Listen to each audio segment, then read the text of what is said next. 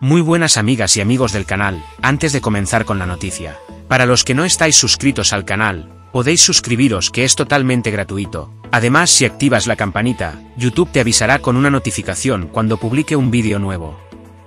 Esto es lo que opinaba en 2011 Alessandro Lecchio sobre la maternidad subrogada, es vender a un hijo. Buceamos en la hemeroteca de Telecinco para recordar el momento y qué fue lo que pensaba por aquel entonces. Corría el año 2011 cuando Alessandro Lecchio daba su opinión. Sobre la recién estrenada paternidad del cantante Miguel Bosé, yo veo una hipocresía que los mismos que aplauden a las madres de alquiler, luego se escandalizan cuando una madre vende a su hijo. Para mí las dos cosas son lo mismo. Renunciar a tu hijo por dinero.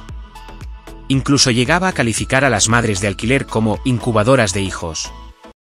Año 2011, Alexandre Lecchio da su opinión acerca de la paternidad de Miguel Bosé. Ahora, yo veo una hipocresía que los mismos que aplauden a las madres de alquiler luego se escandalicen cuando una madre vende a su, a su hijo. Yo, ¿Cómo? Cuando una madre vende a su hijo. Para mí las dos cosas son lo mismo. ¿Y qué tiene que vender? Pa- Para, mí es, es lo mismo, renunciar a tu hijo a cambio de dinero. Pero no O sea, necesariamente. no- la madre de alquiler, no ¿eh? renunciar a tu hijo Esa es- madre de alquiler es una, una mera incubadora que... Es una madre que está vendiendo a sus hijos. Año 2017, el conde Lecchio vuelve a la carga. Critica que en su día Cristiano Ronaldo tuviese hijos por gestación subrogada. Tener hijos de vientre de alquiler no es un proceso normal. Y no lo digo por el que los vende, ¿eh? lo digo por, por el que los compra, lo digo por el que los vende. Ya, pero es- no me creo que no se cree un vínculo entre esa madre que está gestando. el Ah, no, eso- ah, no los vende la madre. de alquiler no los vende. me- A mí me lo parece.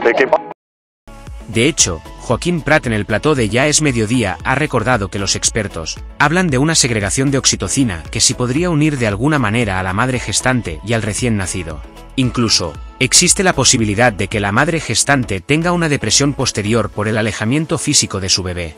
Vehemente como siempre, el colaborador del programa de Ana Rosa se mostró muy crítico con esta práctica, y dijo todo lo que pensaba sobre este tema.